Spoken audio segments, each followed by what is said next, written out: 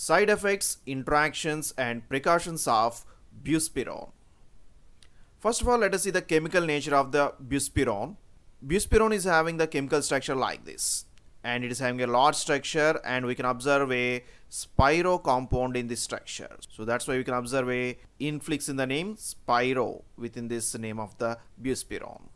And we can give the numbering to this spiro compound from the carbon adjacent to the spiro atom that is the atom which is uh, responsible for the fusing of the two ring systems.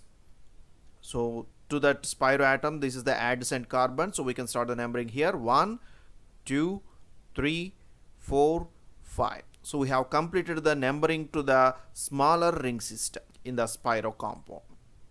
And then we can continue the numbering to the larger ring system. So 6 7 8 9 and 10 so totally the spiro compound is having the 10 atoms it is named as a decane and we can observe the nitrogen is present at the 8th position and uh, two ketones are present at the 7th and uh, 9th position. So the name of this uh, ring system is 8 azaspiro 4 5 decane 7 9 dione. So total is having the 10 atoms and it having a nitrogen at the 8th position and it is a spiro compound by fusion of the 5 member ring system with the 6 member ring system which is indicated by 4 comma 5 excluding the spiro atom. Now let us see how this buspirone acts. Buspirone is acting like an agonist on the 5HT1A receptors. 5HT1A receptors are presynaptic receptors which are autoinhibitory in nature. Few of the 5HT1A receptors are also present postsynaptically but majority of the 5HT1A receptors are presynaptic in nature and they are inhibiting the release of the 5-HT. And buspirone is also having some affinity towards the 5-HT2 receptors. So that's why buspirone is sometimes called as a partial agonist. And buspirone can also act as an antagonist on the D2 receptors. The main anxiolytic activity of the buspirone is attributed to the 5-HT1A receptors as well as the D2 receptors. And apart from these, buspirone can also affect the noradrenergic neurons thereby inhibit the release of the norepinephrine. Where it is used? This drug is used in the treatment of the generalized anxiety disorder.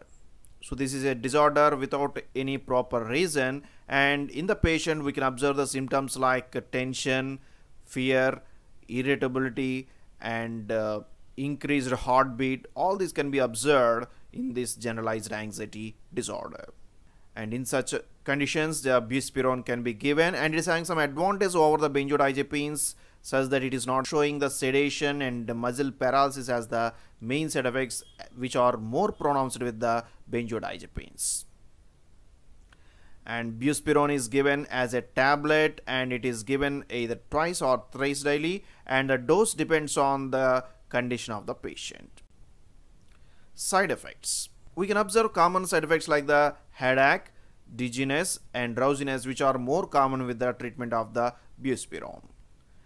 And other side effects like nausea and vomiting is also observed in the patients. And another important side effect is the restlessness. And it was observed that restlessness is initially increased and later it may be decreased in the patients but restlessness is one of an uh, important side effects that should be carefully monitored in the patients treated with the buspirone. And other side effects include insomnia, some trouble in the sleeping, as well as some blurred vision is also observed with the buspirone.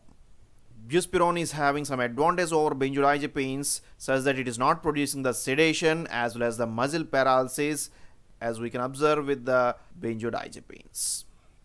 Metabolism buspirone is mainly metabolized by the hepatic system into the metabolites and one of the important enzyme responsible for its metabolism is the CYP3A4. So if any drug is going to affect the CYP3A4 can alter the metabolism of the buspirone leading to some drug interactions. And one of the metabolite of the buspirone is the 1-pyrimidinylpiperazine piperazine and you can observe this is the 1-pyrimidinylpiperazine piperazine which is nothing but a small part of the structure of the buspirone.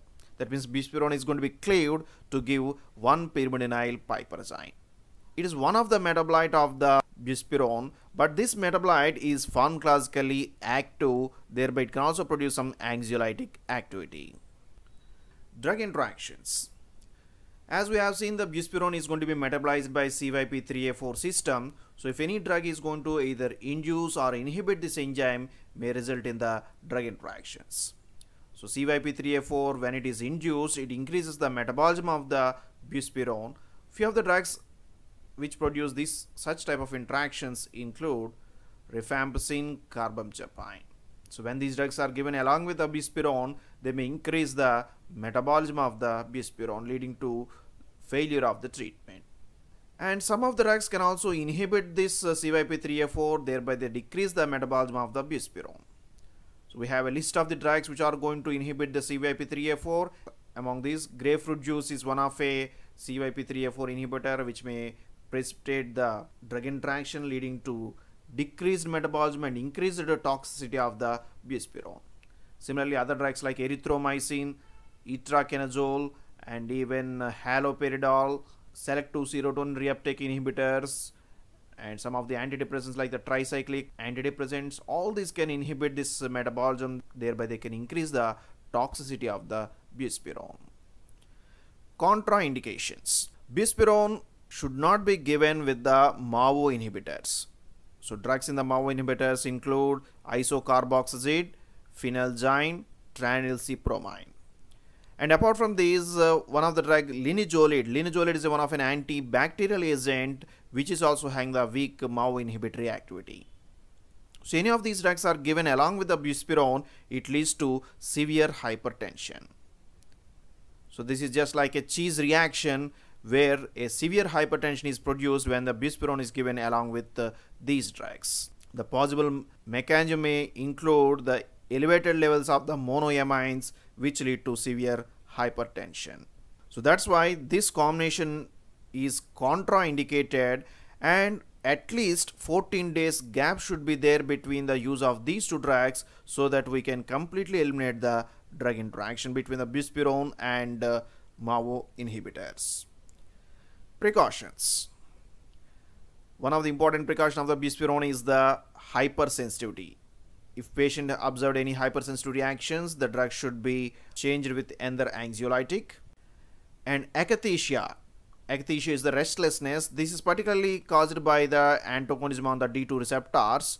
Normally akathisia is going to initially increase then it may decreases but if the akathisia is not decreased and continuously observed in the patient it should be monitored and drug usage may be switched to and the drug.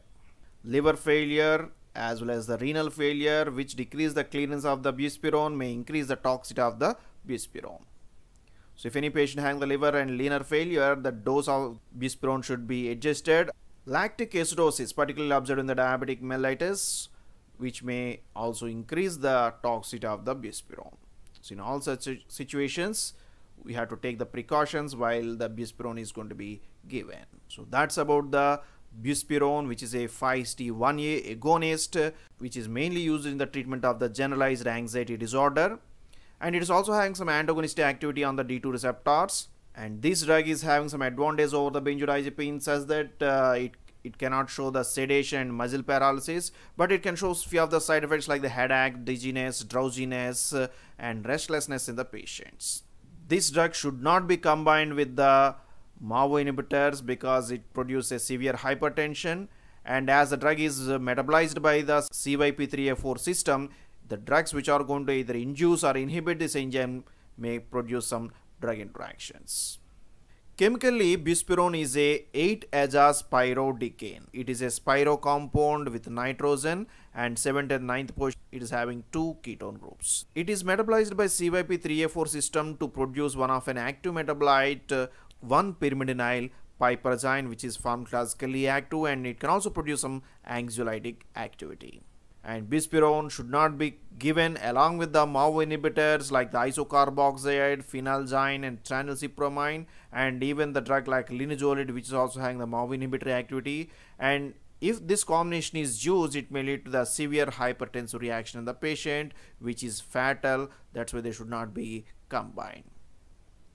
And in order to eliminate this uh, drug interaction there should be a gap of at least 14 days uh, between the administration of uh, buspirone and the MAO inhibitors and when the MAO inhibitors are taken liver failure renal failure as well as the diabetes in the patient should be thoroughly checked in order to prevent the toxic reactions. Hypersensitivity is another precaution that should be taken into the consideration before the use of this uh, buspirone.